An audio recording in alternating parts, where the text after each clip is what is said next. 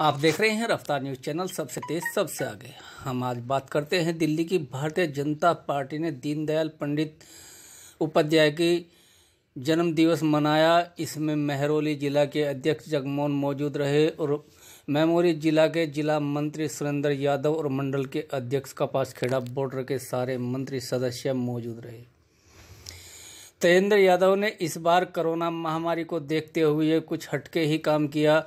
गजेंद्र यादव ने ऐसा प्रोग्राम किया कि लोगों को देखकर उत्सुकता फैल गई और दीनदयाल उपाध्याय की किताबें बांटी और मोदी जी की किताबें से उन्होंने शुभ सम्मानित किया। और इस बार देखकर फूल मालाएँ इस प्रोग्राम में देखने को नहीं मिली। राजेंद्र यादव ने बछड़ा बछड़ा गाँव में हटकर करने का प्रोग्राम किया। आप देख सकते हैं कि किस तरीके से लोगों में एक उत्साह बना हुआ है और दीनदयाल उपाध्याय का जन्मदिन मनाया गया। हम आपसे बताते चलें कि ये दिल्ली के कपास खेड़ा के पास बॉर्डर पे इस प्रोग्राम को रखा गया, जिसमें लोगों ने बढ़ चढ़कर भाग लिया।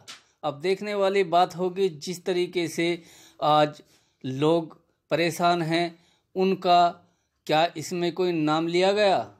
दिल्ली से निगम पांडे की खास रिपोर्ट। के बारे में कुछ शब्द कहें। भारत माता की। भारत माता की। हमारे जिला के उपाध्यक्ष भाई कार्यक्रम के आयोजक, संयोजक, हमारे युवा मोर्चा महरौली ज़िले के बहुत जुझारू महामंत्री भाई तेजेंद्र यादव जी सम्मानित मंच के सामने बैठे सभी कार्यकर्ता बंधु, नौजवान साथी। आज भारतीय जनता पार्टी जिस मुकाम पर खड़ी हुई है, उनके मार्गदर्शक पंडित दीनदयाल उपाध्याय जी उनकी जयंती के इस कार्यक्रम पर पूरे भारतवर्ष में इस तरह के जो कार्यक्रम आज आप तेजेंद्र जी द्वारा, युवा मोर्चे द्वारा किया गया है, लाखों कार्यक्रम इस तरह के पूरे भारतवर्ष में हो रहे हैं। अपने ही ज़िले में, महरौली ज़िले में दो सौ उनतालीस कार्यक्रम आज पंडित जी दीनदयाल उपाध्याय जी की जयंती के अवसर पर पूरे क्षेत्र में। हमारे इस मंडल में सुबह अशोक यादव जी द्वारा, रमेश जी द्वारा, संगठन के कार्यक्रम सुबह किए गए हैं। तीन कार्यक्रम हुए अशोक जी, दो हुए। सुबह दो और भी कार्यक्रम इसी तरह के रखे गए हैं। और सभी वार्डों में, किसी में दो हैं, किसी में पाँच हैं, किसी में सात हैं, और सभी कार्यकर्ता पार मैं अक्सर इस बात को ध्यान नहीं दिलाता हूँ। कोई भी कार्यकर्ता जो पद पर आज है, वो आने वाले दो समय में हो सकता है किसी दूसरे पद पर वो जाए। तो दायित्व परिवर्तन की वो है, कोई आगे, कोई पीछे, ये समय चलता रहता है।